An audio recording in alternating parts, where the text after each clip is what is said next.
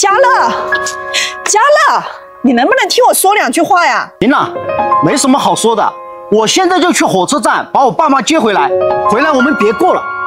哎呀，就因为这么点小事，至于吗？我们都因为你爸妈吵了多少回架了？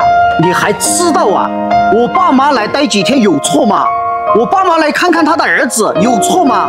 你倒好，背着我把他们赶出家门，现在都到火车站了。你这样子做有意思吗？哎呀，那不是我赶他们走的，是他们自己要走的。你还好意思说？你整天在家里摆个臭脸给谁看呀？谁愿意看呀？你看天啊？你不是给他买这就是买那，这得花多少钱啊？你不心疼，我还心疼呢。他来花他儿子自己挣的钱，有错吗？再说了，你爸妈来的时候从我卡里刷了五万块钱。这个事情你怎么不提呀？现在我爸妈过来花点我的钱怎么啦？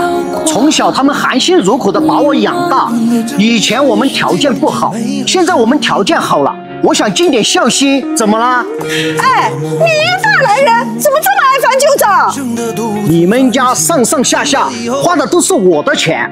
还有，你整天在家里无所事事，我是去你吃的了，还是去你穿的了？你要把我爸妈赶走？我告诉你，这个家有他们没我，有我没他们，你自己选一个。行，这可是你说的。既然要分，那么就分得彻底一点。那套房子是在我们结婚之前买的，要走的人不是他们，而是你。你给我有多远滚多远，我们离婚。你是绑架的人，你绑了我的。